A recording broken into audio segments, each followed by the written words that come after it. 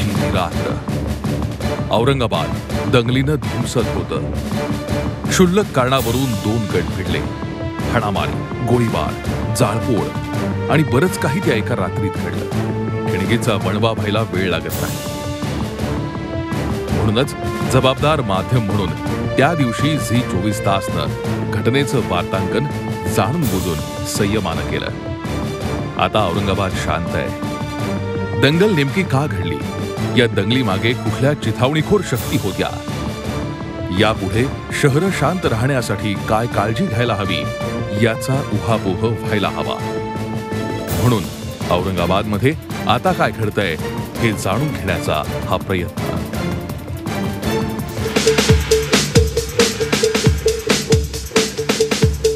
प्रत्येक शहर काहीतरी सांगतं. दिसामासांनी शहर बदलत राहतं.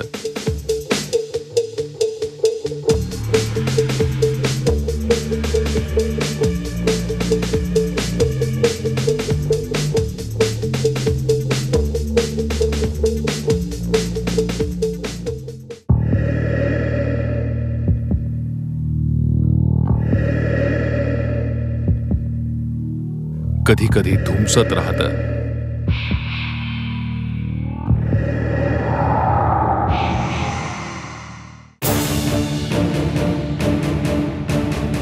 औरंगाबादही गेल्या काही दिवसात असंच धुमसलं. जळलं होरपळलं पोळलं. गुण्या गोविंदानं नांदणाऱ्या गल्ल्या अचानक एकमेकांशी भांडल्या पेटल्या. एक दंगल उसळली. दहशत माजवणारी भीती घेऊन येणारी.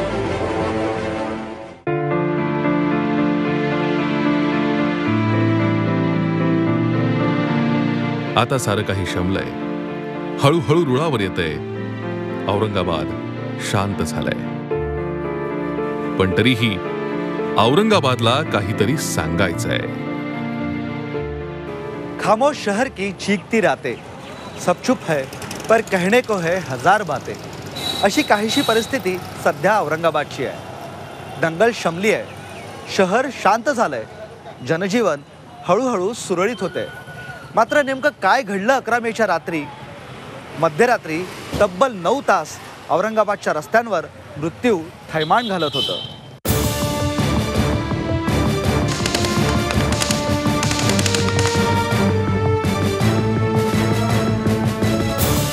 अकरा मे.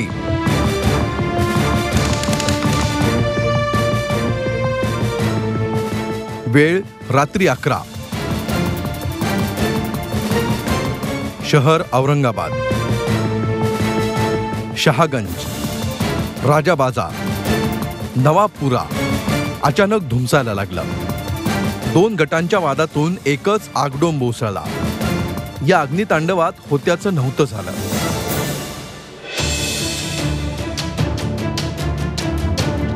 रात्री अकरा ते सकाळी आठ या नऊ तासांमध्ये शहागंज राजा बाजार नवाबपुरा परिसर अक्षरशः होरपळून निघाला. अकरा मेच्या शुक्रवारची मध्यरात्र औरंगाबादसाठी काळरात्र ठरली. जो दंगलीचा इतिहास या शहरानं पुसून टाकला होता त्याच दंगली पुन्हा एकदा शहरात भडकल्या. रात्री अकरा ते बाराच्या सुमाराला दोन गट मोठ्या संख्येनं रस्त्यावर उतरले. शहागंज राजा बाजार नवाबपुरा या भागात भडकलेली हजारो माथी रस्त्यावर फिरत होती. कुणाच्या हातात तलवारी कुणाच्या काठ्या आणि कुणाच्या हातात दगड. लक्ष फक्त एकच समोरच्याचं नुकसान. प्रचंड जाळपोळ विध्वंस करत जमाव जमेल तिथं घुसत होता. पोलिसांनी या जमावाला थांबवण्यासाठी गोळीबारही केला. मात्र जमाव काही शांत होईना. एका मागोमाग दुकानं पेटत होती. अनेकांची दुकानं त्यांच्या डोळ्यासमोर जळत होती. मात्र समोर येऊन दुकान जळताना थांबवण्याची हिंमत होत नव्हती. इतकी भीती. लोक घराच्या छतावरून पेटलेली ही दंगल पाहत होते. गल्ल्या भेदरलेल्या होत्या. मिळेल ते दुकान सापडेल ती गाडी फुटत होती. राहती घरं जळाली. डझनभर दुचाकी आणि वाहनं आगीत स्वाहा झाली. शंभरच्या वर दुकानांची राख रांगोळी झाली. अनेक दुकानं लुटली गेली. दुकानातला माल रस्त्यावर फेकला गेला. जमावाला नियंत्रणात आणण्यासाठी पोलिसांनी रात्री गोळीबारही केला. शहागंज राजा बाजार आणि नवाबपुरात कानठळ्या फोडणारे गोळ्यांचे आवाज घुमत होते. जो तो भेदरून घरात बसला होता. परिस्थिती चिघळलेली असताना इतक्या मोठ्या शहराचे पोलीस आयुक्त आणि दोन पोलीस उपायुक्त नेमके सुट्टीवर होते.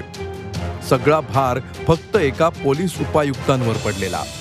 अखेर सकाळी पोलीस आयुक्त तातडीनं शहरात पोहोचले. हळूहळू दंगलीवर नियंत्रण यायला सुरुवात झाली.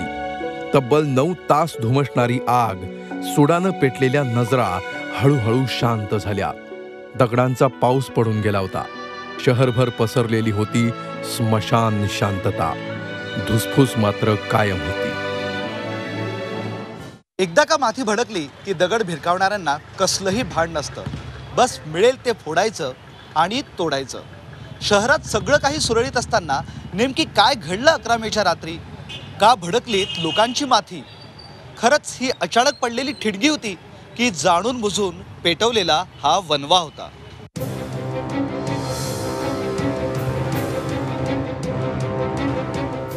औरंगाबाद मधली दंगल नेमकी का भडकली याच्या वेगवेगळ्या शक्यता पुढे येत आहेत. शक्यता एक. दंगलीच्या साधारण पाच दिवस आधी आंबा खरेदीवरून दोन गटात वाद झाला होता. त्यावरून दोन गटात मारामारी सुद्धा झाली आणि त्याचाच परिणाम म्हणून अकरा मेच्या रात्रीची दंगल घडली. शक्यता दोन.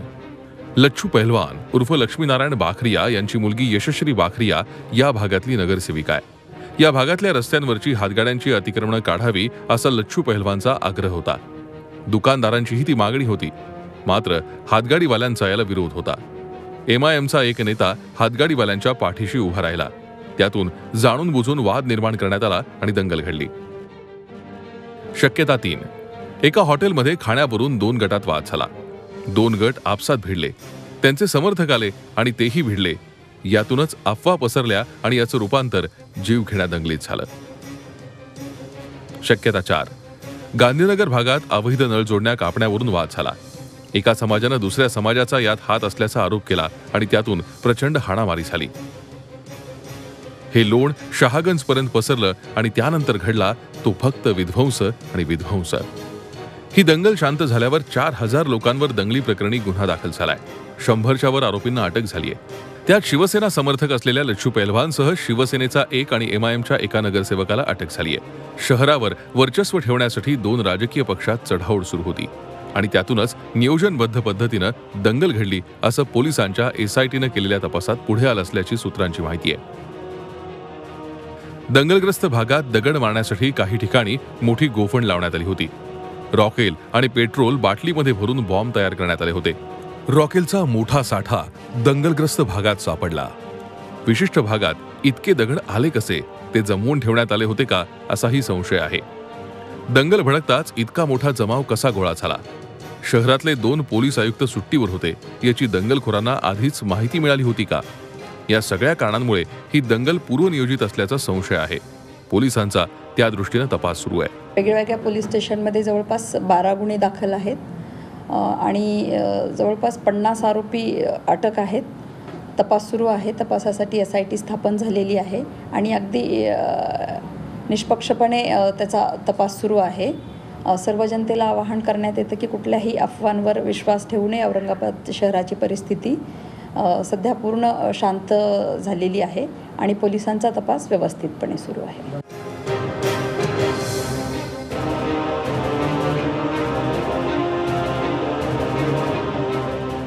एमआयएमचा शहरात प्रवेश झाल्यापासून शिवसेना आणि एमआयएममध्ये राजकीय वर्चस्वाची लढाई सुरू झाली आहे. याच वादातून ही दंगल घडली का अशी चर्चा शहरात रंगतीये.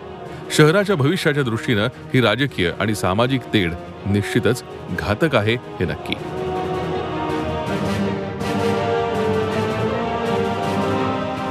दंगलीचं राजकारण झालं नसतं तर तेही नवलच. तेही घडलं. दंगलीनंतर राजकीय नेत्यांचे दौरे सुरू झाले.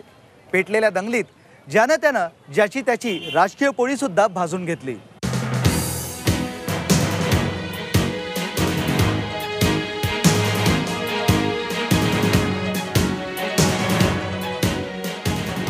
औरंगाबाद मधली दंगल शांत झाली आणि याच भागात एक पूर आला. हा पूर होता नेते मंडळींच्या दौऱ्यांचा पूर.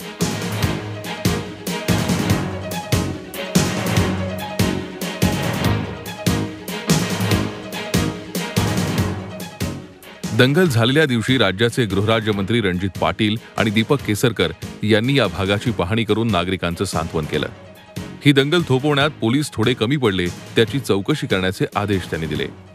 ह्या सगळ्या गोष्टीला कारणीभूत असणाऱ्या ज्या काही घटनाक्रम मागचा घडलेला आहे त्या सगळ्या घटनाक्रमांचा अभ्यास करून एक उच्चस्तरीय समिती याच्यावरती नेमून याच्यातलं सत्य काय आहे ते बाहेर आलं पाहिजे. आणि कुठल्याही अशा इन्सिडेंटच्या मागे कुठला एखादा धर्म किंवा जातीला नाव न देता त्या प्रवृत्तीला आपण दोष द्यायला पाहिजे ज्या प्रवृत्तीमुळे हे होतं.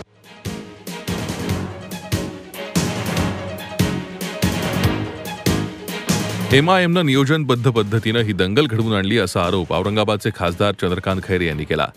अगदी शिवसैनिक नसते तर संपूर्ण शहर खाक झालं असतं हेही सांगायला ते विसरले नाहीत. दंगलीत दोन बळी गेले कोट्यवधींचं नुकसान झालं.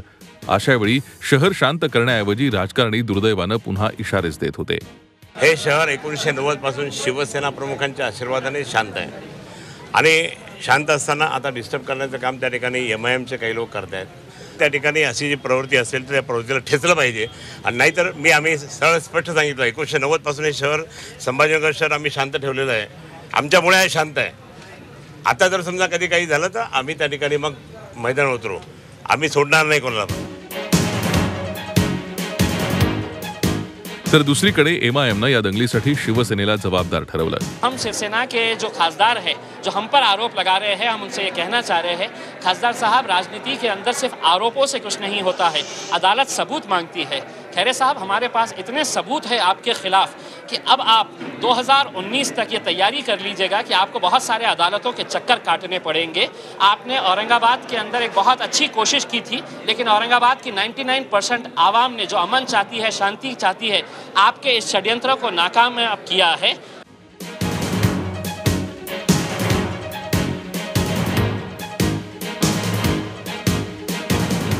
दंगलग्रस्त शहागंज राजा बाजार परिसराची भाजप प्रदेशाध्यक्ष रावसाहेब दानवे आणि विरोधी पक्षनेत्यांनी पाहणी केली. त्यांना नागरिकांनी घेराव घालत या गोंधळाबाबत जाबही विचारला.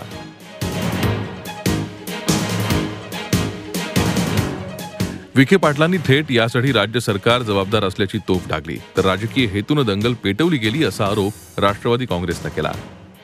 ज्यांच्यावर खरं जबाबदारी आहे लोकप्रतिनिधींची शांतता प्रस्थापित करण्याची त्यांना आता हे यांना हा सामाजिक तणाव निर्माण करण्याचे त्याच्यामध्ये त्यांचा प्रयत्न दिसतो आणि म्हणून सरकारची इच्छाशक्ती आहे का कारवाई करण्याची? आता दोन गृहमंत्री या ठिकाणी राज्यमंत्री येऊन गेले. आणि कुठल्या प्रकारची अजून खात्री लोकांना शहरातल्या लोकांना अजून अशा प्रकारचं कुठलं आश्वास त्या स्वतः लोकांना सुरक्षित वाटत नाही?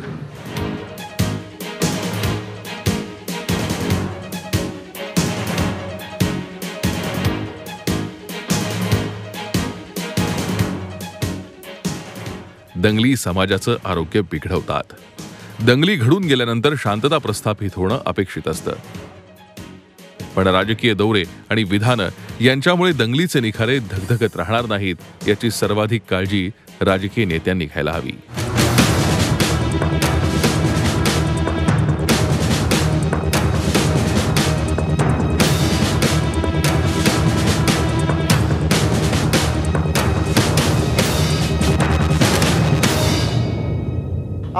कोरोनाची दंगल आटोक्यात येऊन आता आठवडा उलटलाय. मात्र अजूनही औरंगाबादमध्ये भयान शांतता आहे. कुठून तरी अफवाचं पीक येतं आणि लोक घाबरतात. बाजारपेठासुद्धा पटापट बंद होतात. या सगळ्यात औरंगाबादकरांना आता दंगल नकोय. आता हवी आहे ती फक्त शांती आणि शांतीच.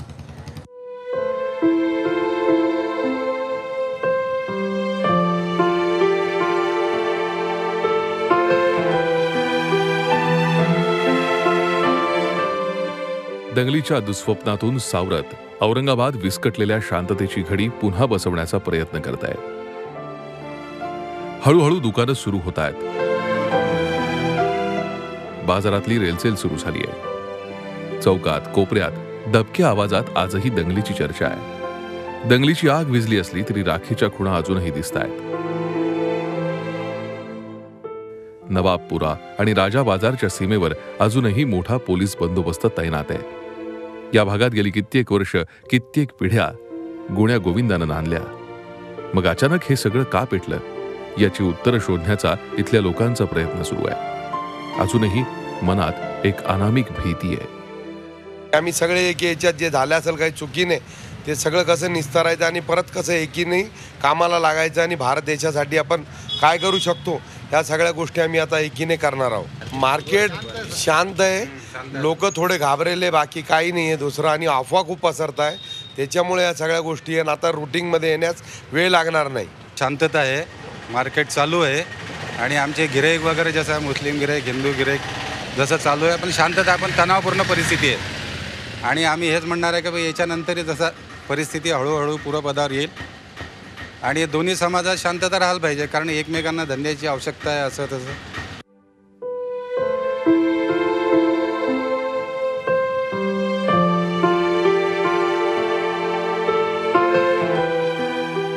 शहागंज नवापुरा आणि राजा बाजार. सध्या तणावपूर्ण शांतता आहे.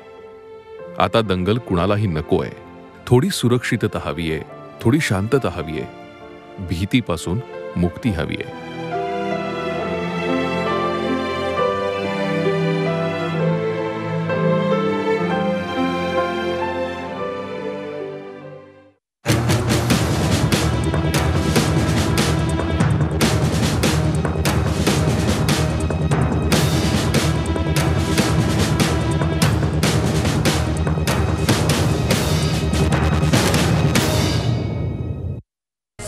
तास रहा एक पाऊल पुढे.